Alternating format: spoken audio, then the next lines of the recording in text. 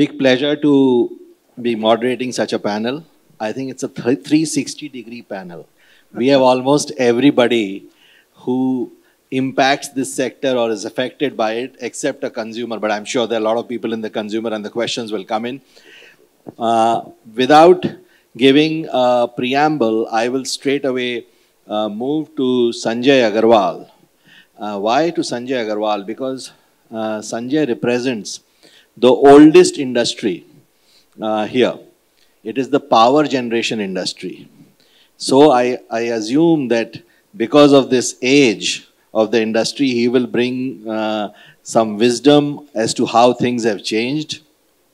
And uh, what I would like to ask you uh, is how they've changed and how, uh, more importantly, they are today.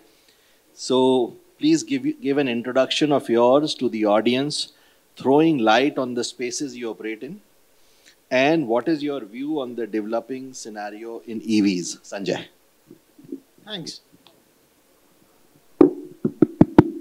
Thanks. Uh, uh, I represent Fortum. Fortum is essentially uh, in India is represented in four business segments. The first one is we put solar plants, utility solar plants, which supply power to the grid. Uh, the second business that we are in is we're setting up a biorefinery with 50% joint venture with Numaligarh Refinery for producing ethanol and other byproducts. The third one is the charging infrastructure for electric vehicles. And the fourth business that we are in uh, is uh, giving services for reducing NOx on coal-based power plants. The fifth one, which is not in India, but clearly we are doing it from India, is the waste-to-energy plant, which we are putting up in Sunter in Jakarta in, in Indonesia. So these are the five business areas that we're talking about. And if you would see that there is a common thread which runs through all the five business areas is that they are connected with renewables uh, reducing the uh, uh, fossil fuel footprint in all the business segments that we are in. Uh, as uh, you mentioned, I think if I were to take a similar approach which was there in power generation with respect to EVs is, uh, if I were to take you back around 10 years back, 10 years back, I would say around 2008, 2009, if you would have been in India, everybody, everybody's cousin, everybody's sort of relative was either putting up a coal-based plant or he was putting up an hydro plant because that was the in thing at that point of time. Uh, at that point of time, people also went that uh, the regulated power uh, is an anathema. Everybody was in for a merchant power because there were certain examples who were able to pay back the whole uh, equity as well as uh, debt in two to three years' time because the merchant power prices were high.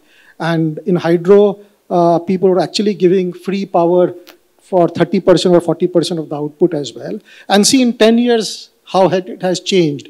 Uh, no private sector uh, is willing to put up a coal-based plant as of now, and clearly nobody is willing to put up a hydro plant because they didn't see uh, they didn't see winds of change coming in. So I'm just saying from that perspective that in 2009, nobody gave a whisker of a chance to solar. Uh, uh, in, if you see in India as well, seven years back, the total installed capacity was around 300 megawatt. Now it is 30,000 megawatts. The tariff was around 18 rupees. Now it is two and a half. So the market went up 100 times and uh, the tariffs went down by one eighth. Uh, clearly, nobody saw it coming. Uh, so all of these disruptions, nobody sees it coming. And the same thing, at least from Fortum perspective, it will happen with uh, mobility as well. And that's the reason we want to be in that space, both with respect to electric vehicle charging infrastructure. And also, we also believe that uh, although the change would come, still it will not replace all the IC engine cars which are there in the country. So we are also into ethanol because ethanol blending would take place. This change would come, and all I'm trying to say is that uh, as the change, EVs would be the next solar. So as the solar thing happened in the last seven years, and if this conference would have happened seven years back, nobody in the audience or myself would have ever imagined that the market would go 100 times. I think we are in 2019. I'm sure that by 2027, 2028, this market also would go 100 times. Uh, but we just can't imagine the scale of these changes. Great. So what you're saying is that uh, the solar power cost has come down uh, to 2.5 rupees, which is roughly the price of uh, the thermal power uh, near, nearly there. Nobody had imagined this.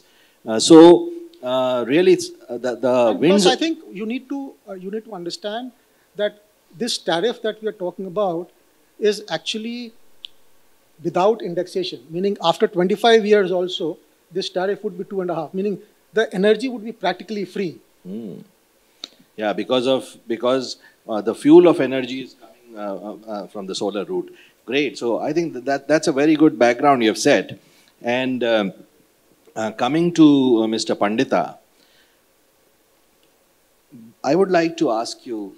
Your Bureau of Energy Efficiency, the organization, has become the central nodal agency for charging infrastructure rollout and we congratulate you for that. We also have just last week seen a lot of uh, uh, what, what seems like well-considered action in this area uh, by the announcement made, announcements made by your uh, minister.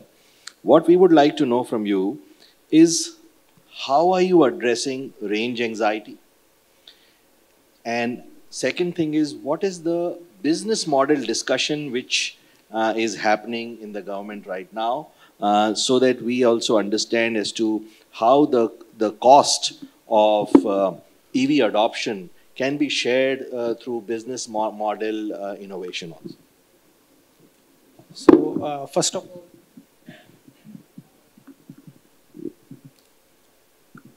it's on, they'll put it on. Uh, so first of all, thank you very much for having us here. Uh, before I actually answer your question related to uh, what all the government has done till uh, now to promote uh, charging infrastructure in the country, I would like to tell something about my organization, Bureau of Energy Efficiency. We are a statutory body under the Ministry of Power. And we have the mandate of setting aside performance norms for energy consuming appliances. And we have been recently given this mandate of doing the um, uh, roll out for charging infrastructure across the lengths and breadths of the country. Uh, answering the question that was asked by moderator here, uh, pertaining to the charging infrastructure, what government has done. Uh, globally, if we see uh, the studies everywhere, whether it is California or it is Europe or China, uh, it has been seen that the progress, the growth in the, the uptake of the EVs is essentially, uh, uptake of the EVs is basically dependent on the how, how fast we put in uh, uh, uh, uh commensurate uh, charging infrastructure which can cater to these EV growth. Insofar the ministries are concerned, the government of India has been looking at EVs in particular right from 2012 when first uh, we had launched a National Electricity Mobility uh, Mission, uh, under which the first FAME2 scheme to provide subsidies for electric vehicles was set aside by the government. However, at that time, there was no concentrated or concerted focus of the government uh, with regards to the charging infrastructure. Uh, the majority, the push which uh, the government has actually given to charging infrastructure after having realized that the growth in EV charging infrastructure will actually mirror the growth in uh, the EVs in the country, was put about, uh, serious thoughts were given about two years back. Uh, when the Ministry of Power actually uh, decided to set aside some uh, kind of guidelines for uh, charging infrastructure and set certain standards to accelerate the uptake of electric mobility in the country. before that, somewhere uh, last year, in April of last year, the Ministry of Power came out with an order wherein uh, charging was delicensed. So uh, essentially, there was an order from us under the Electricity Act. The charging was made uh, license free, so no, any entity or individual could set up a charging station now. Can in fact set up a charging station now, and there is no requirement of a license. So things have been made simpler. Uh, insofar, the guidelines that were issued by the Ministry of Power last year, uh, they laid down a lot of things, uh, again to facilitate the uptake of uh, electric vehicles in the country. Uh, so they laid down the specification, what kind of charges, minimum requirements a public charging station should have. Uh, all these were listed down in the guidelines, how, or the, the, what would be the location where the charges would be located within the cities and on the highways uh, across the country. So all this was actually standardized in our guidelines, which were issued by the ministry last year in uh, December. However, a lot of inputs were received from the stakeholders and we were we had to actually go in and revise the guidelines, which we have recently done about two, three days back. And uh, the guidelines have now been uh, now have incorporated provisions for two-wheeler chargings as well as we uh, estimate that uh, two-wheelers are going to form a larger chunk, in fact, the largest chunk uh, in the EV stock in the country in the years ahead. So uh, we have also brought in the provision and we have specified the technical specifications for two-wheelers as well. So uh, this is what uh, the Ministry of Power has done. In fact, uh, the, our sister organization, Central Electricity Authority, has come out with uh, guidelines and regulations on uh, distributed, uh, the connectivity of distributed generation resources, as well as safety standards for such resources. So a lot has been done by the Ministry of Power to facilitate uptake of EV charging. Uh, uh, EV charging and uh, electric vehicle deployment in the country. whether electric vehicles are a necessity, that's something that we need to look at. yes, and whether there is a requirement of a policy, well, again, yes. Uh, given that uh, transport sector of this country consumes about, it contributes about 18% of the overall demand uh, of energy in the country. And majority of this sector is dependent on imported crude. So it costs us a lot of foreign exchange. So yes, EV is going to stay here and uh, it is going to evolve. As my fellow panelist very rightly said, a few years back, no one even gave a chance to solar photovoltaics. Uh, this was a story about two years back, but now there is a serious thought given in the government also that uh, we have certain international commitments that we have made at uh, in Paris and uh, related to the um, emission intensity of our uh, GDP and we have to reduce the emission intensity and EVs certainly form one of the viable methods of reducing the energy intensity, the emission intensity of this country. So yes, uh, all these initiatives have been taken by the government and government is now very serious about uh, having EVs as a viable option to yeah. meet the energy demand. Yeah. Uh, so, in fact, the Prime Minister also has said that clean mobility will be our, one of our paths to uh, fighting climate change. Coming to you, Rajeev, you are bringing a globally acclaimed e-car, well-established e-car into India. What are your concerns regarding charging infrastructure or the guidelines which have come up? Which you would like to address to uh, the Bureau of Energy Efficiency? So I think this is an interesting uh, uh, panel because we talked, uh, we heard Sanjay was talking about charging infrastructure, uh, heard Sameer talking about the guidelines and policy, and here I am, are, who's going to launch the car in the next few months. So as, as Pavan, you said, we are launching ZS EV, which is which is a global car in our portfolio of MG. And uh, so MG ZS EV we are launching uh, in December of this year is going to be produced in India uh, in our plant in Halol, Baroda. And in fact, as we speak, we have already done some uh, non-sellable build and already 15, 16 cars we have produced. Uh, this is going to address to a larger issue the, the, the range anxiety issue because it will be anywhere from worst condition 250 kilometers to ideal 400 kilometers range. Um, so that should be a good answer and good product. Let's see how do consumers adopt it. Now, in terms of infrastructure, CC, we have a viewpoint on, uh, on this whole issue. Either we wait for perfect conditions, good infrastructure, and then decide to launch the car. Um, or, or be part of this whole solution and, and collaborate, join hands with all the people and, and evolve, be part of this evolution. So frankly, if you ask me, is the policy clear completely? No. Uh, has government uh, uh, done a great job in terms of policy making, in terms of providing clarity and all that stuff? No. Um, they definitely have the right intention. They definitely have made sure that everyone understands that EV is going to come and going to stay and going to rule the, rule the roast. Uh, but in terms of clarity, there's lots can be done. And I think this is what government is trying to do, maybe through some permutation combination, maybe through learning from other countries, maybe from uh, intern, because of the government's own complication of various departments in this whole game. So they are, they are evolving, as, as, as Sameer said, that even last week there were improvements in the guidelines. So I think this will evolve. So like in MG Hector, we could have waited for the internet connected car to, to wait till 4G, uh, till the whole country has 4G because we have problem right now when the car moves from 2G to 4G area, you don't get internet and we get customer complaints कि आपकी गाड़ी में तो problem है आप बोलते हो internet but आ नहीं रहा है तो वी से you know like in phone sometimes you lose the connectivity so again the choice was wait for the perfect condition or let consumers enjoy 80 90% of the infrastructure so likewise in ev we have lots of issues but i think let's join hands and try to evolve and be part of this revolution. Great. So uh, you did not wait also to la launch MG Hector, which was a great car, but people are waiting to buy.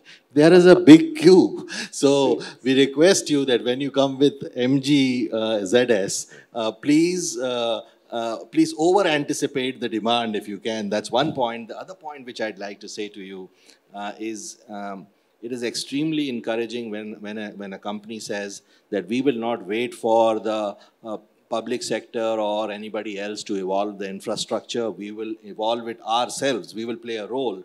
And that reminds me, this morning I was telling you about the light bulb. When it was invented, people said that uh, how will the how will the transmission happen, etc. And Edison Electric, the company owned by Thomas Alva Edison, it stripped the earth and it established the first transmission lines. Later on, it became General Electric. So great, that's wonderful, and uh, that's really you're you're taking the the mantle of a leader. We have another leader here, which is Ravinder Dayal, uh, who's sorry, yeah, okay. So I'll just give it to you. Okay, uh, who has been uh, leading, uh, who's been, been a leader in the automobile sector. I would like to have your view, Ravinder as to uh, how do you see this uh, emerging scenario and what is it that you are planning uh, for the EV uh, stadium? Okay, so uh, to start it, we are in fact uh, testing a e-vehicle as such and by 2020 we expect to launch that vehicle because the Indian conditions are quite different from the global conditions. So it's a last two years we are doing the extensive uh, trials in all regions and all weathers. So that is one part. The the second part is uh, on the the battery part, the lithium iron battery. So we are setting up a lithium iron uh, battery project in uh, Gujarat, and that will also come by 2020 when this vehicle is launched. But the important thing is the three C's uh, for the first is the consumer acceptance of the vehicle. Second thing is creating the infrastructure. And third is the reducing the cost. So we, we are not in a high-end uh, sector as MG Motors is or maybe other makers are. We are in a consumer uh, segment where the affordability is a issue. So that is the challenge for us to really create a car which is acceptable, affordable to, to the consumer. The other challenge would be the safety of the vehicles, which were issues uh, in China. Of course, they showed about the battery, but there are other safety issues on the vehicles, uh, electric vehicles. And the other thing is the disposal of the batteries, because uh, there is no system or a process in the country to dispose the vehicle. We, we are talking about electric vehicles and all that, but how these batteries would be managed because currently they have all to be, they have to go out of the country to really, you have to dispose them off. So how that will be managed is going to be another big challenge for us. Great that you bring the safety issue. I'm reminded of uh, washing machines. When they came that time, uh, many places just had the bulb. So there were no sockets, plug sockets. So the appliances had to be, uh, the bulb had to be uncocked and the unscrewed and the appliance had to be hooked in. So there was no off switch on appliances and there was no off switch there. So people used to, I mean, women used to get their hair caught in the washing machine and there were gory, uh, gory accidents, etc. However, that phase passed. And uh, uh, I'm sure that phase is passing. And I was also listening to the keynote earlier, uh, which very clearly said that safety is an important area which battery manufacturers are, are, are looking at. So coming to Vinay, and taking from where Rajeev left, Okay. Rajeev said uh, to, to Sameer that we are with you, and also we would like the policies to be even better considered, more inclusive. Uh, so, given that lens, do you think that the current guidelines, uh, which have come just two, three days back, uh, require some editing or you are quite happy with them? If you are happy with them, what are the points on which you like the edit? So I think, uh, you know, let's, uh, I, I'll just put it back into context, Pavan. Uh, you know, India is an evolving market. And I mean, Rajeev and I were both part of the journey when way back in 95, 96, when the market had opened up and uh, we were all bringing in these world-class vehicles. Now, was the market ready for that? You know, we had different fuel uh, standards, we had different uh, sort of uh, safety standards, and all of those policies had to be evolved because we were otherwise overpriced. So the fact is, is that uh, if you look at also mobile phones, when mobile phones at the prices that they were offered at way back in 95, 96, would have anyone have imagined, and I think many one of us made the wrong call at that time, that they would become mainstream. And that the whole population, I mean, there are cities where now mobile phones exceed the landline. At a time when we had waiting list for getting our phones or getting a minister's signature to get one on you know, priority. What a way the world has changed. So the fact is, is that policies will continuously evolve. And the fact is, it's a chicken and egg. We will have to first get the vehicles, we'll then have to go ahead and test it out, then we'll modify it. It's, it's going through its journey. But the fact is, is that the world has already moved ahead. And there's so many options now that can be brought in and then tested out and then see whether that would configure for India. Let's, let's be honest. The technology that we're using for EVs is not our technology. It is technology that was evolved. We are modifying it to a large extent. So the fact is, is that the policies also, regulations, are getting adapted or uh, evolved in different parts of the world. We can also take some of those. We know that, let's say in, in the US, California has the highest emission standards. Where's the highest percentage and market share of electric vehicles? Surprise, surprise, it's California. Where almost 50% of the vehicles now are there. And out of that, one player has taken advantage. How has he taken advantage? By setting up the ecosystem himself, right? By setting up the whole process of doing it. So the fact is, let's not wait. Same way in the mobile phones. We didn't wait. I mean, some of the companies that were early movers are no longer there today, right? They will be, and there will be the shakeout that will take place. But there has to be a reward, and that could be the incentives that people have for adoption, as well as for those that are going to make the investments in that capacity. And then later on, it tapers off. So even in the US, when you had incentives, it was timelined. It will progressively reduce over the years. Why? So that we, one, the country can't afford it. Two is, is that they, the scale will change, will uh, sort of, uh, you know, chicken and egg would be addressed. The scale would do, the cost will come down. Norway did the same process, and they came into where they are today.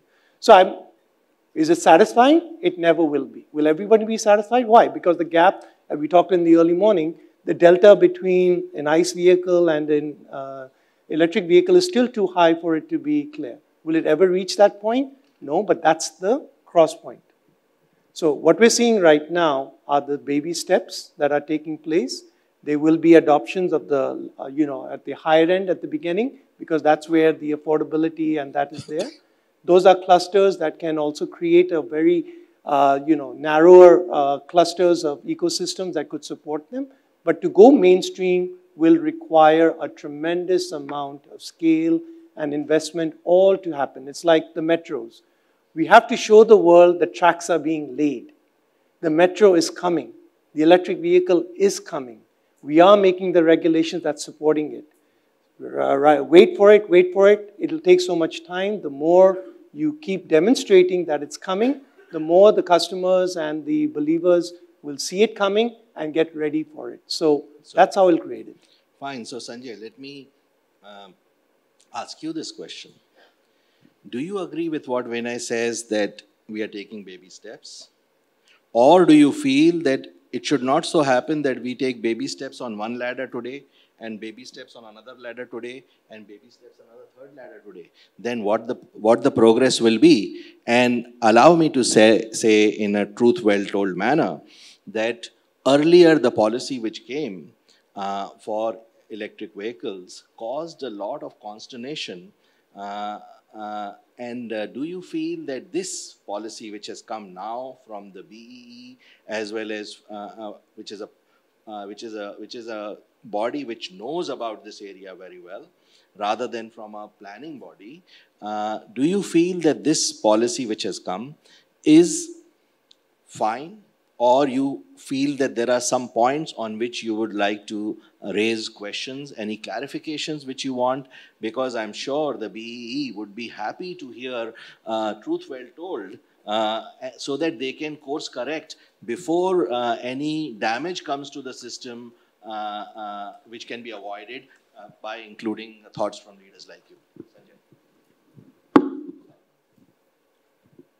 Yeah, I think as long as there would always be different stakeholders who would be depending upon their perspective uh, or their interest, there would be always pulls and pressures.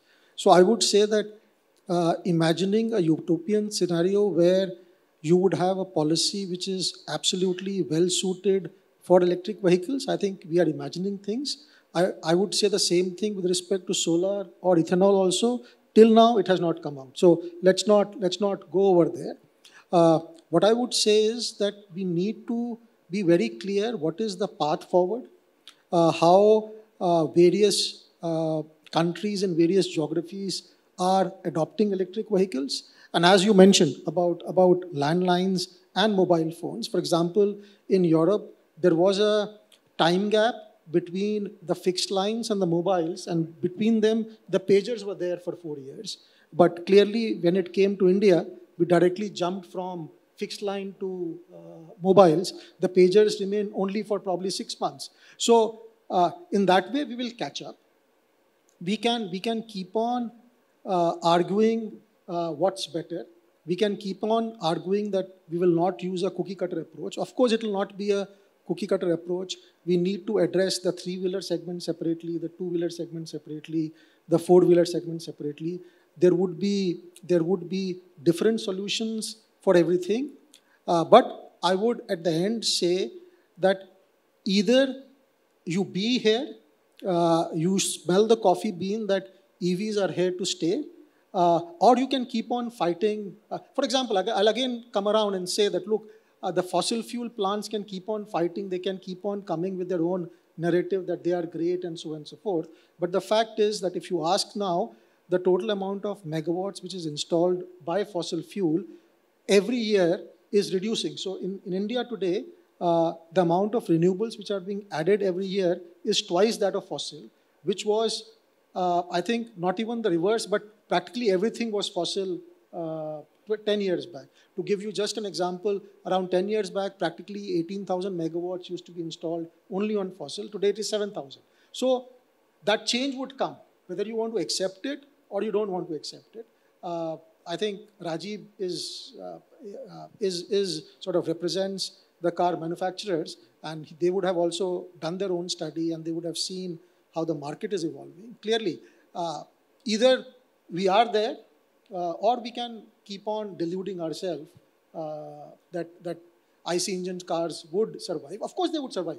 In a sense, in the next, in, by 2030, I'm not saying that 100% of the cars would be EVs. I'm saying even if 30% of the cars or 20% of the cars are EVs, uh, it's a great thing. Yeah. So, Rajeev. Yeah, actually, I like to make a few observations, uh, and and a little bit maybe controversial, but a few things. So number one, uh, to Ravindra's point, I kind of don't agree with his viewpoint on this because uh, I think either you wait for a perfect solution and three C's you work on, try to get an affordable car. And I agree that actually if you want to get the wave in India, you need to have an EV at price of 5 lakhs, 6 lakhs or 7 lakhs, which everybody can afford. But can you get there in the shortest possible time and start the revolution? I don't think so. So globally, technology is available, uh, proven technology. There are hundreds of players who are doing it right now. So we can always collaborate and get the technology. And thanks to Maruti and Toyota collaboration, probably that's what they're going to do, uh, which obviously you can't share here, uh, which we understand, right? But, uh, but yeah, that's the way to go. So you need to make a start somewhere. Uh, second, I would say on the policy flip-flop, I would say more than policy flip-flop, there have been statements flip-flop. So what has happened is that some bureaucrats, some politicians probably have made some statements in certain forums which created anxiety and confusion. It was not a policy. But maybe if you think of it uh, philosophically, maybe intentionally it was made to start this conversation. If you don't shock and awe, sometimes the desired results don't come. So the idea is not to give a, give a deadline through these statements that, okay, by this time 100% will happen, but maybe at least to start this conversation. The third point, India is a very complicated and unique market. And in terms of, in terms of uh, various categories, we are talking a solution for e-rickshaws, three-wheelers, two-wheelers, four-wheelers, and buses. And all these segments require different, different solutions, by the way, different ecosystem uh, and, and different uh, solution provider. For the sake of this forum, and I represent four-wheeler industry, so I'll restrict to four-wheeler, my only thing to policymakers and, and, and people like uh, Mr. Uh, Pandita would be that here we need a long-term, clear thinking, clearer policy, and long-term solution. Now, my only request would be it should not be that you are going to play this new game called EV four-wheeler and you decide that there are 100 rules to play this game, right? Because the rules are so complicated that probably you're making it difficult to start the game even. Make it, keep it simple. You say, okay, because now if you take FAME 1 and FAME 2, and you say, okay, only up to this much money, you will give the incentive, that also in public uh, commercial vehicles only, commercial vehicles only, not to the private consumer. So you're trying to really restrict your hands and say, okay, now you play the game. If you are really serious about bringing these cars, you say, okay, these are minimum games, minimum rules, sorry, start playing the game, and the game can be, and, and we need to take care of Indian manufacturing for sure, but initially we don't have technology, we don't have resources, the cost is very high. So you say, okay, guys, for the next four or five years, you can import at 0% duty. But after five years, it'll be 10%. After 10 years, it'll be 50% or whatever. So make the rules very clear, import duties very clear. I'm sure all the local manufacturers and the global guys would love this clarity and will go accordingly. Great, Rajeev. Yeah. I love the fact that you said that let me make a controversial point because I think controversy causes friction and all polishing comes through friction. So the point which I think is getting made here is this kitchen is not known for its speed. The speed of the kitchen does not give it the reputation. How well made the dish is more important sometimes than speed. So that is one submission to you, Mr. Pandita. Of course, I'm going to come to you also in the sense uh, I, will, uh, I, I really find the policy which you have made uh, much better considered than any we have seen so far. The second point is, which Rajeev said, 100 rules. If there are 100 rules to follow, then rather than enabling the game, you are actually asphyxiating or suffocating the teams. It is like standing on the weighing machine and losing weight. You are asked to lose weight while standing on the weighing machine. Very difficult to do so. I could not do it uh, otherwise also. That's another thing. okay. So coming, coming to what the policy says, I think Mr. Pandita made made a very, we had a very interesting call and where I was really impressed by his width of knowledge and his depth of understanding. And I felt that coming to, by this policy coming through BEE, perhaps now we have something which will not be ironclad, as I understand Vinay and Sanjay agree. It cannot be ironclad, it cannot be foolproof, it is in a, a new area. Uh, so, but I think it is a much better considered policy. I would like to ask you, uh, Sameerji, that what do you think are the changes in this policy which can reassure us even more? Uh, when we uh, first launched uh, the guidelines and standards last year in December, there was a lot of uh, opposition that we had received.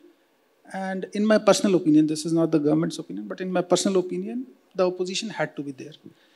Uh, when we had come out with these set of guidelines initially, uh, we were essentially restricting uh, EV uh, a charging uh, ch a charging station to have a particular number of chargers, and anybody who was interested in putting up this charging station had to mandatorily install all these chargers.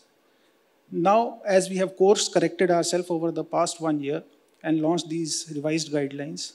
Uh, we have done away with that provision. And uh, now we have, in fact, relaxed the provision, and now any public charging station uh, can have any one type of charger, and the rest is up to him. He can select. That is uh, whether uh, for, for the four wheelers per se. Uh, initially, we had this provision in the guidelines that there has to be transformer and a substation installed. Uh, now that has been made optional. We have brought in an enabler this time round. Uh, even uh, charging stations can be installed at uh, semi-restricted places like a taxi aggregator facility and uh, even in CGHS, wherein a guest who is visiting somebody in a CGHS, co cooperative group housing society, can go and uh, install chargers, and that would qualify as a public uh, charging system. Uh, we have also defined the voltage levels for various type of chargers. We had earlier got some uh, three or four chargers, both fast and slow, but now we have categorized them well and the voltage levels have been defined. Initially, there was a bit of uh, ambiguity.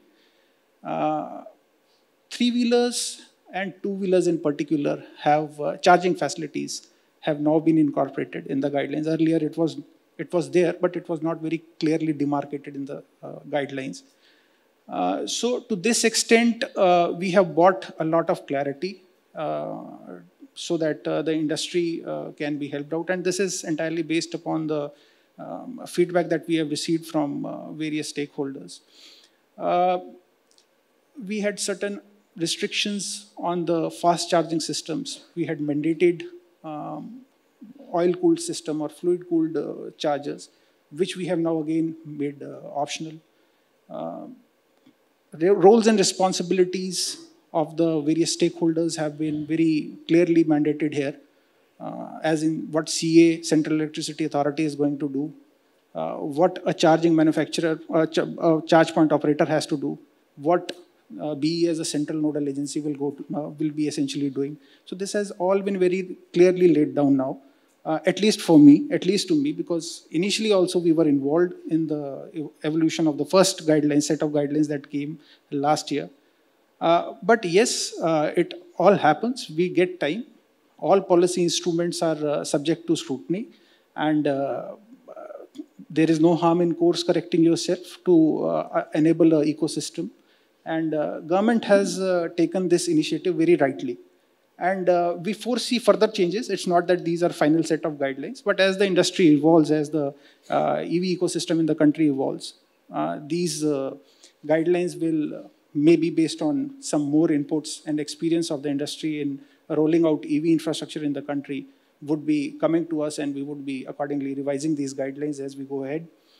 Uh, one important thing that government has done, and I would like to mention it, though it may be out of the context, but uh, DHI in, under FAME 2, for the first time, it was not there under first uh, FAME scheme.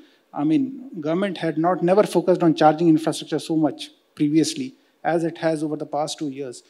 DHI has kept a provision of uh, providing capital subsidy uh, to those who are interested, any individual or entity who are interested in putting up charging infrastructure in the country. And here the subsidies are essentially categorized into uh, three levels, uh, A, B, and C, wherein A is for the public charges that are installed on the roads, on the highways, and in the cities. B is specifically for the uh, chargers that are installed in the government uh, uh, premises.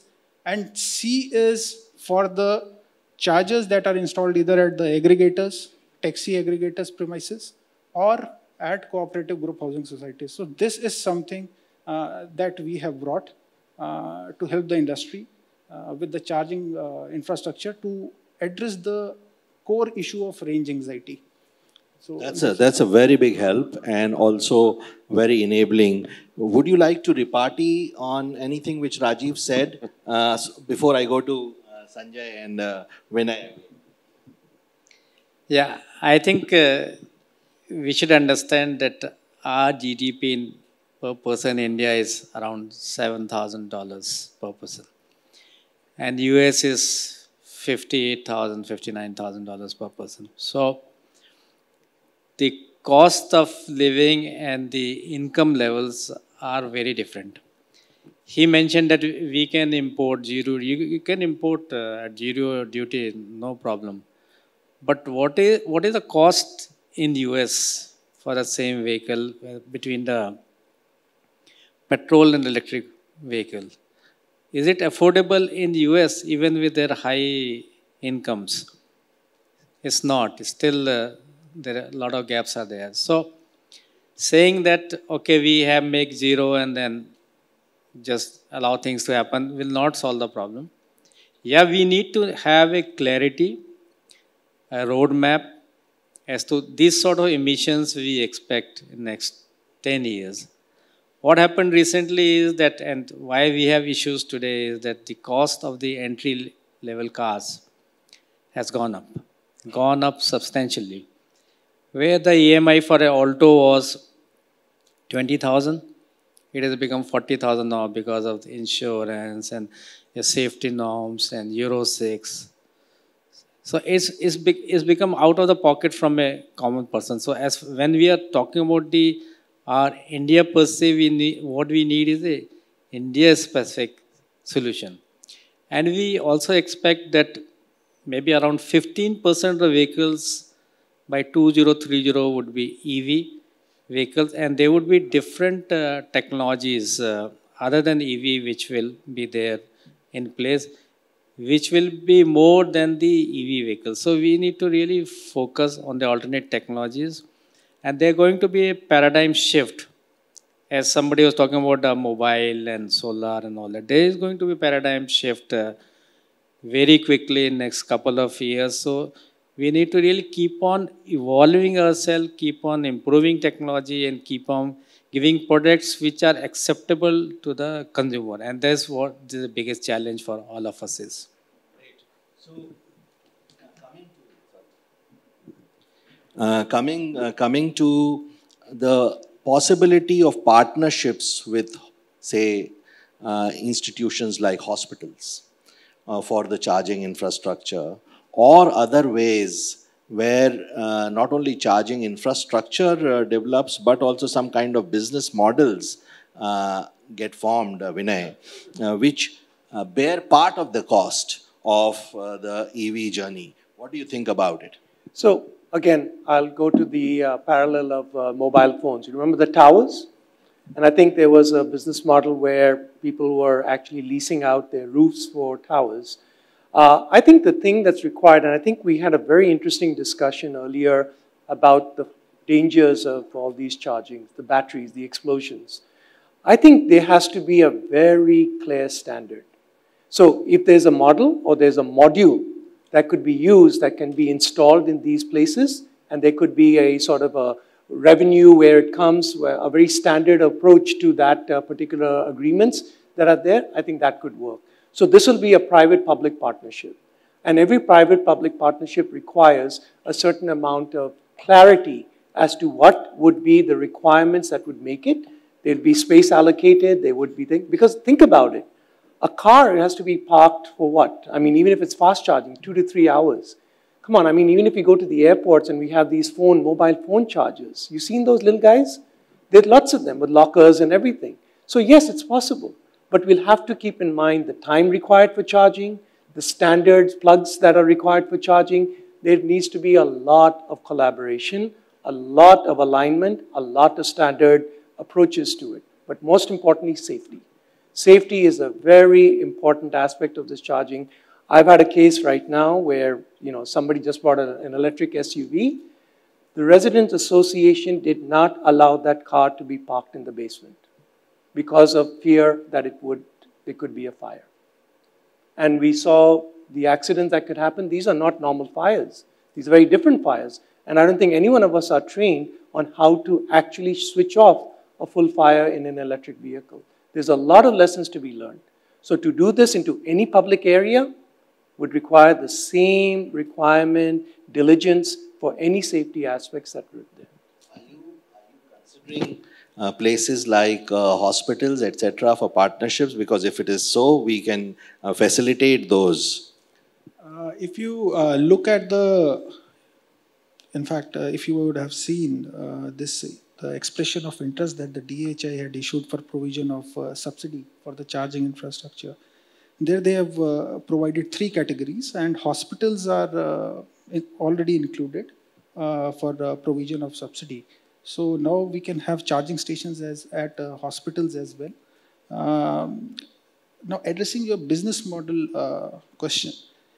Uh, globally, if we see there are uh, three widely practiced models. Firstly, a public utility company gets into some kind of arrangement with a retailer, a retailer outlet and uh, provides charging for free and gains from the increased footfalls. Uh, so this is one model which is tried and tested.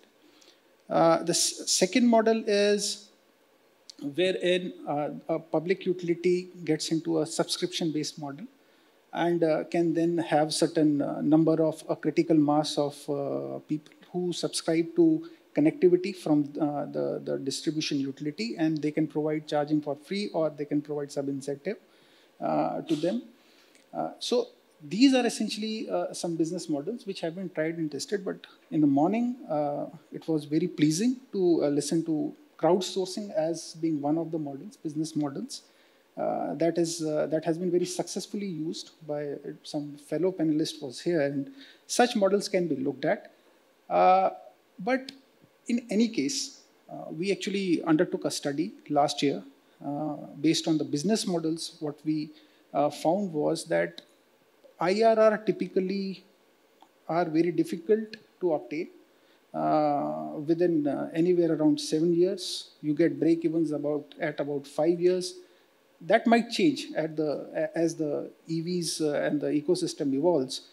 Uh, but yes, uh, such uh, exciting and innovative business models like the one that we heard in the morning, the crowdsourcing model that we heard in the morning, uh, yes, that can be one of the uh, possible models.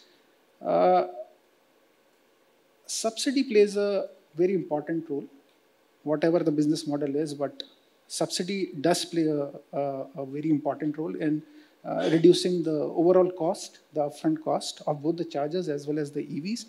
And uh, most of the policy instruments that have been used across the globe uh, are basically targeting are targeted at bringing down this upfront, high upfront cost.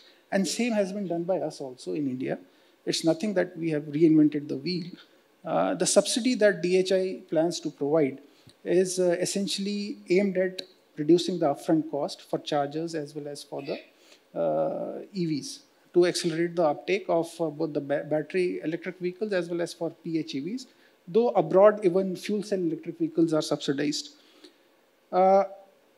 Uh, one thing I would like to mention here is, uh, as was pointed out by uh, a speaker in the previous session, yes, subsidy needs to be provided to the industry. China has been doing this since long back, since uh, 2013. Uh, and they have recently succeeded and they have again course corrected their subsidy models and now they have focused their subsidy uh, primarily on um, uh, the vehicles which are having a mileage of in excess of 300 kilometers and above. So they are not subsidizing something that is inefficient. Uh, so personally, I'm not very much, being a government servant, I'm not in favor of providing any subsidies uh, because if it is an efficient vehicle, it is going to pay uh, the owner. He is going to save on his operational costs and the ownership cost will come down gradually as when compared to uh, petrol vehicles, petrol uh, fueled vehicles or diesel fueled vehicles. But since we are in a nascent stage, subsidy has to continue for a given number of years, and that has to come out very clearly. And I am uh, backing this uh, concept of providing subsidy till a critical mass for both the battery manufacturing as well as EV manufacturing as well as EVSE manufacturing comes of age and uh, uh, there is a critical mass available for uh, economy of scales to be available with the manufacturers in the country. That's very gratifying to hear that uh, when an organization which has strong domain ex expertise is given the charge, then it really looks at what the business wants, whether it is temporary subsidies or new business models, etc. That's very gratifying to hear. I would now, now like to open the session uh, uh, to questions. And uh, first, yeah, go ahead, please. Anybody who has a question for Sanjay Aggarwal first, please. Anybody who has a question for Sanjay Aggarwal? Okay, go ahead. Because to dem democratize talk time, yeah. go ahead, go ahead. Yeah, hi Sanjay, this is Dhari Gupta here. Uh, so I've seen, uh, you know, the um, infrastructure that you put up, I've seen some of the chargers, but unfortunately none of them were working. I've never seen a car being charged over there. And we also know that uh, to uh, charge a car, you need shade. You know, in heat, uh, it doesn't charge uh, properly. and as as Vinay said, the you know it might have problems safety-wise. so I've seen it in I think in INA market uh, somewhere it is there. So I've never seen a car being charged over there. So like, how do you solve that? Make sure that the charging infrastructure that you put up is working.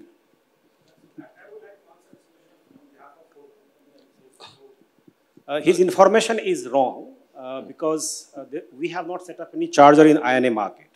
INA market charger is, as I understand from the public information, you know, I don't uh, know who has, the EESL has set up that charger, and that's, uh, you know, uh, so Fortum has set up 42 charging points. Primarily, those are in Hyderabad. I don't know whether you have seen our chargers in Hyderabad. So, so uh, please get corrected. Our chargers are getting fully used, and, and uh, you know, uh, information is available there. You can go, you can download the app Fortum Charge and Drive India, and even have the live information, the real-time information, how it is being used, whether charge is available, not available, occupied, offline, so I would, why I'm reverting this because this is a very strong statement when he said that your charger is not working. So that's I want to revert. Hold, hold. So see, you, you referred to Sanjay, who is our company uh, head. So I, I had to strongly revert this one as far as that one is concerned, right? So our chargers are working fully, functionally, all the chargers, and to inform all of you that it is smart chargers. It doesn't require even a single person it is, all the drivers are going there using the app, using the RFID, they go, they connect, they pay their payment, uh, uh, you know, digitally. You don't require any person there. Okay. So I have a question I, also. I, I, I, I addressed, I requested uh, you to address the, uh, the question to Sanjay because I wanted the microphone coming to him, but it came on an arrow. Okay. next question, next question. Go ahead, last. Okay, you, you sir, and then you. Yeah. Okay. Uh, my name is Rajesh Loomba. I run a company called Eco Rent a Car. We provide mobility solutions uh, to corporates with the largest in the country.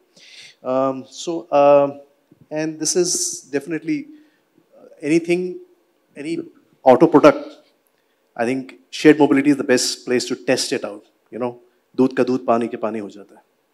The way we use it, and for us, it's a matter of uh, bread and butter. So first question is to Mr. Dayal.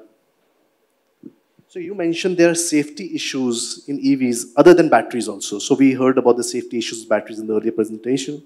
Uh, what other safety issues do you see in the EVs? Yeah, it basically is the electrical, uh, you must have seen also, for example, you must have seen CNG and people get it fitted. So it's more to do with the electrical circuit, which can get short circuit besides the, the battery parts. So one has to be careful in that.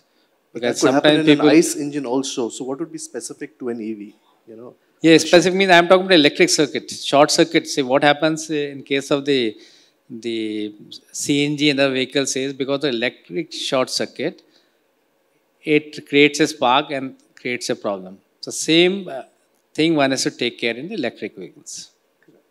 Okay. I believe your, your question is kind of pointing that whenever a pioneering product comes, there is some criticism which is well deserved, and there may be some criticism which is a little exaggerated. We can talk about this offline, and I also have some views on it, but good No, point. But actually, that's not what it's pointing towards. Uh, But we'll I- have a talk on that. If I that can just later. add to that, that's Yeah. one point. Just remember, a collision in an electric vehicle is very different from a collision in a normal vehicle. The same thing, like when you have, you have the gas tank possibly exploding. Here, the battery leakage can be a major problem. So you have to be a bit, uh, and the whole way in which the structural engineering of that car is going to be very different when it's repaired also. So just keep that so, in so just to add on to that, you know, uh, that so there are standards and global standards, and I think Indian standards are going to evolve. So it basically goes to as mundane issues as that if suppose an accident happens, after how many seconds the battery should explode, if it has to. So though there is a cage, there's a huge require. So basically the standard basically says it should never explode to start with, right? But you don't know about the impact of the accident. So battery has huge standards. Battery has penetration tests, a lot of requirements. And then the cage, the cage around the battery takes care of all this. But worst possible case, God forbid, big accident happens. Then there are even standards that in how many seconds after the explosion, the battery should explode. You know, so it means the occupants are out of the car in that much time and then it can explode. So there are a whole lot of global standards and that's what I think probably Mr. Dayal also says. That's concerning. Those occupants may not get a chance to get out of the car for So again, again, see, see, sometimes. maybe, you know, I'm, I'm oversimplifying a test here right now. Uh, globally, so many BEVs, uh, battery, uh, the, the electric vehicles are getting sold. So there are very, very stringent norms on, on the battery and the cage. So that's what I think uh, the government also is going to follow here. So I don't think so we need to be worried about that because it's the same case for, I, uh, for, for normal petrol engines or diesel engines or CNG engines. Okay, so next question, please, last. So no, I I have to complete out. So my next question is to Mr. Chaba here. Uh, so what's the status of uh, the standardization of energy storage and the charging points for the with the manufacturers? You know, because unless there's standardization, like you have in your mobile phones, there are a couple of types of chargers, and that's it. You can use one charger and another one. But here we find that a lot of automotive, uh, the manufacturers themselves are also trying to set up uh, the charging uh, ecosystem and infrastructure and trying to own it, right? So, so this, this issue or the problem is like any other industry, I would say. Uh, like even right now, in, uh, for connected cars or for 5G, there are various norms in, uh, in the, even in that industry. So likewise here, there are two or three diff different ones like CCS or, or it's uh, or, or Type 2, uh, you know. So, so that's what I think uh, Mr. Pandita was referring that, uh, you know, irrespective of that charging, in, in specific charging of that car manufacturer, if you have all these various kind of charging points, make life of a consumer easy. So I doubt that in the next few years there is going to be one specific standard because different manufacturers have their different standards. But the, the whole uh, neutrality which the government is trying to provide in terms of uh, the charging in, in, in, in terms of providing you all kinds of charging points, I think takes care of that issue to some extent. Hopefully after five years, six years and all, uh, you know, depending on the volumes of a particular player, uh, you may have more charging points uh, conforming to uh, that, that particular OEM. Initially, I think should not be a problem. Let's say in our case, what we are trying to do is that we will try to provide a charger at your house to start with, which takes care of day's need.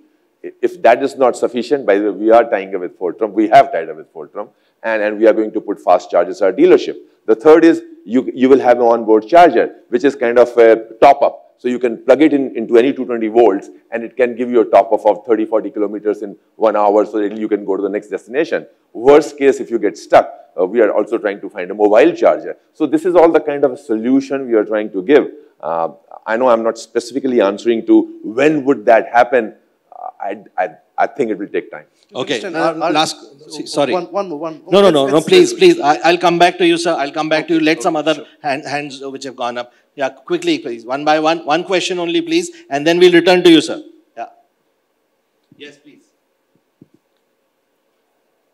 I think the my next microphone can travel to the next person who has raised his hand. Yeah, go ahead, please. And there's a hand here also. Good afternoon. Uh, my name is Taran Ratra, uh, and I'm the co-founder of a EV charging provider. We are currently a startup, and we are just a, at a very early stage in our business. We're just uh, figuring out the feasibility of setting up EV charging. And in the past few months, uh, we have spoken to a lot of real estate companies in Delhi NCR region, uh, particularly for setting up EV chargers. And uh, one thing um, I find is the main major problem with setting up EV chargers right now is controlling the operating expenditure. Operating expenditure with respect to the electricity tariff and the land cost. So most of the real estate companies that we have spoken to until now, they uh, have no idea about the real estate market, uh, about the electric vehicle market as such. And their first question is, are, there aren't any electric vehicles. Our tenants don't have electric vehicles.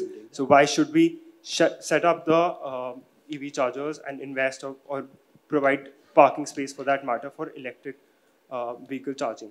So my question to uh, Mr. Mr. Sameer uh, is that like what exactly in the new policy I haven't uh, really seen what exactly is the electricity tariff specific to public charging stations, particularly for setting up in real estate companies, in real estate, commercial real estate, because uh, our research suggests, whatever research we have done in the past few months, we find that if you see uh, a car is uh, parked at two locations most of the time in a day, either at uh, the person's home or the office of the person, most of the time in a week, you can see. So these two places um, are are very important to have char uh, charging stations at these two places in particular. So what are the policies the government has already taken out or will be taking out in the future to make it compulsory for these uh, public places to have ch uh, charging, put up charging infrastructure and also uh, with respect to the uh, tariff of uh, electricity. Insofar the tariffs are concerned for charging, Ministry of Power has very, in these guidelines which have been, the amended guidelines which have been issued recently, it is very clearly mentioned that that is a prerogative of the uh, competent authority in the state, that is the State Electricity Regulatory Commission has to do it as per the relevant uh, provisions in the tariff policy. So, uh, insofar the present guidelines are concerned, there is no such provision as such and uh, the charging tariff may vary from state to state. Uh, if you're talking about Delhi, then there is a tariff policy already, and uh, the charges have been very well documented. What would be the per unit charge for both uh, low voltage as well as high voltage? So it is somewhere around five. I'm not. Uh, I, am unable to recall the tariff price since that's not my domain. I don't uh, actually work in that sphere. So uh, as far as mandating of uh, uh, parking spaces is concerned for electric vehicles in commercial buildings, that's a business decision. Government cannot enter into that. So that has to be an agreement between you and the real estate owner. Uh, electric vehicle critical mass is definitely going to take time. And uh, what we think, what uh, how we planned out this uh, these guidelines, we were of the opinion that until or unless a charging infrastructure is put in place, uh, people won't find it very attractive to buy um, electric vehicles because uh, then range anxiety is a very big issue. higher capacity uh, batteries, uh, the EVs with high capacity batteries are only a recent uh, introduction in the country. But the Tatas and Mahindras, which we have been looking at, they are Unfortunately, at the moment, they don't provide much of a mileage per charge. So uh, the question related to mandating something uh, doesn't arise because, uh, at the moment at least, because uh, that's a completely a commercial decision which uh, uh, probably you and the real estate owner has to take. So uh, insofar the um, regulation of the tariff is concerned, the state electricity board has to do it and uh, it's not based upon whims and fancies of an individual like me. So it's the responsibility of uh, the um, uh, SERCs, the State Electricity Regulatory Authorities, under the tariff policy and under the Electricity Act 2003 as well.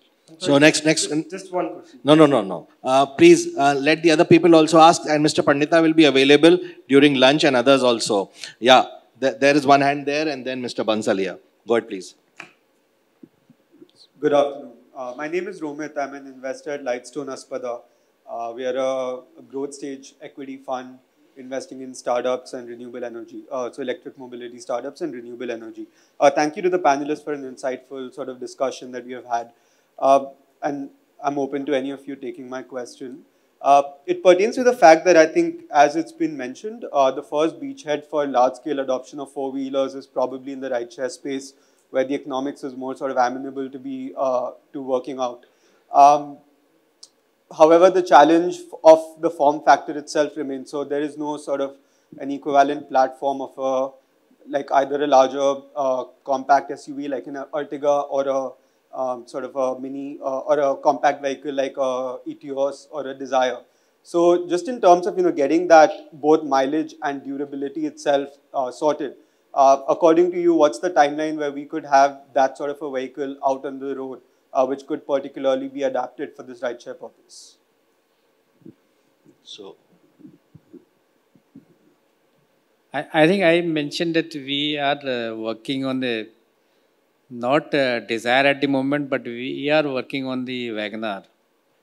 And I had mentioned that uh, 2020 we are going to launch this vehicle and we'll see the what the customer response is. But the biggest challenge is the affordability.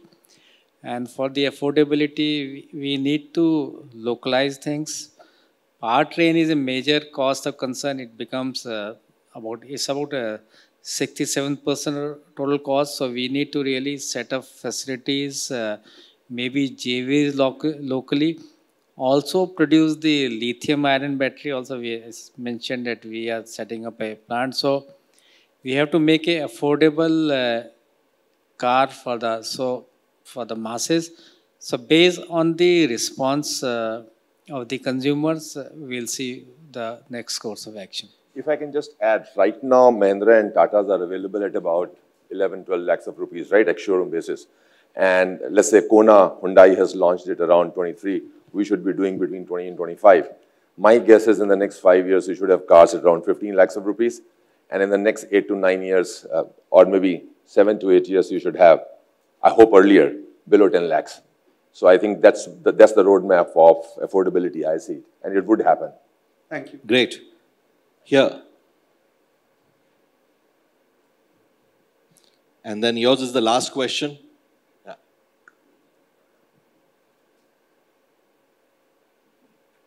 Uh, Vineet Bansal with EV Motors.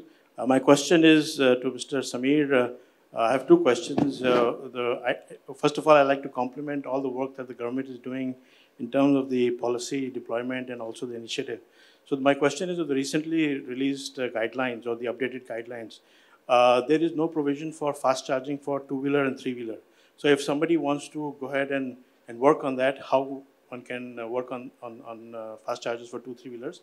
And the second one is, uh, recently the EOI was issued for the, for the Department of Heavy Industries for subsidies. But is there another window of opportunity for people to look at applying or or that, you know, it's a one-time window for somebody to look at applying for subsidy for chargers? Uh, well, surely it is there for uh, three years and uh, thereafter continuously there would be a course correction. Government can uh, definitely think of uh, having more subsidies rolled out and have more programs um, of subsidy based on the demand, based on the demand creation. And if there is a feedback from the industry, definitely there is no, uh, I mean, government has to think over it and, and will take a view of this, of uh, doling out more subsidies. To, because as I mentioned, there are international commitments and this transport sector has to, there has to be a te tectonic shift in this. And we have to shift our transport sector towards more cleaner ways of commuting. So uh, there, I, I'm, I'm very sure that something comes up uh, which actually uh, complements the DHI initiative. Uh, so that's one. I, I actually didn't get your first question, if you can. Yeah.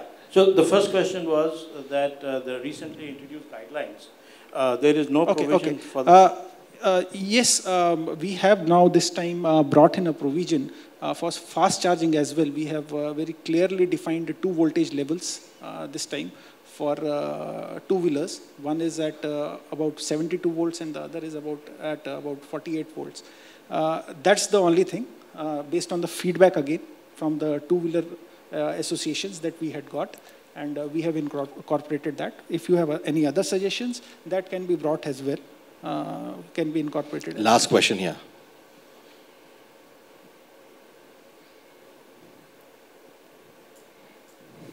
Hi, I'm Siddharth from Times of India. So my question is to Mr. Pandita. You just uh, talked about that cleaner way of mobility.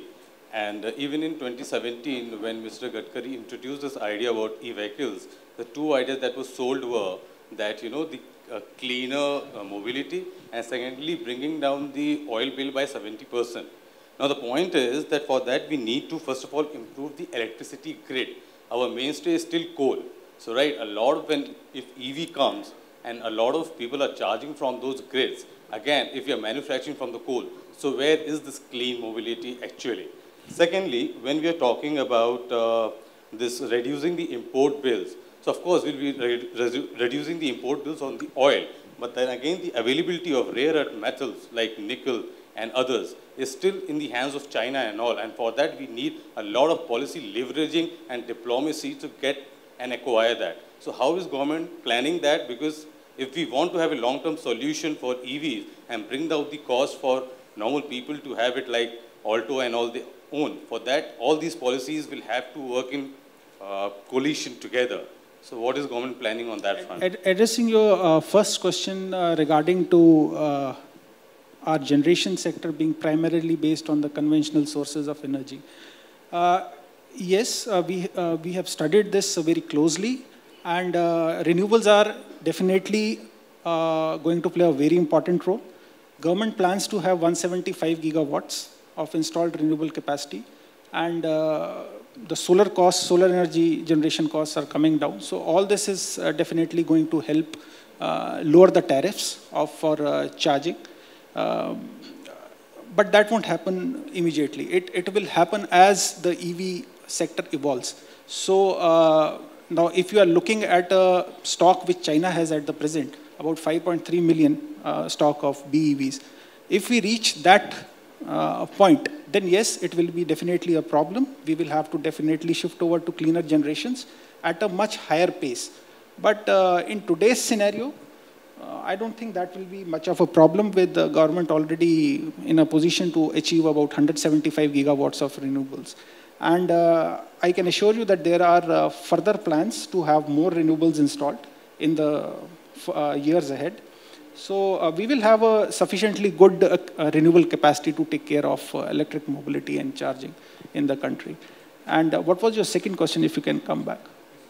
Availability of rare earth metals for uh, okay, okay. So, so we should not we should not limit ourselves to thinking about only lithium ion and rare earth metals. I mean, research is ongoing, and it's not that today we are on lithium ion. Maybe tomorrow we find something else maybe we shift to some other cleaner ways of uh, propelling our uh, electric uh, this uh, electric uh, vehicle uh, stock that is available with, and, us. And, and mineral reserves come up for revision again and again. 1950s, as I said in the morning, the mineral reserves of, of um, copper were estimated at 100 million tons. But in the next 50 years, we extracted 340 million tons. So these reserves come up for revision. Cryolite was a mineral which we ran out of. And it was vital to making aluminium, but aluminium is still made, which proves that human ingenuity will make more and more of those products, maybe using less and less of those rare minerals and maybe a better quality also.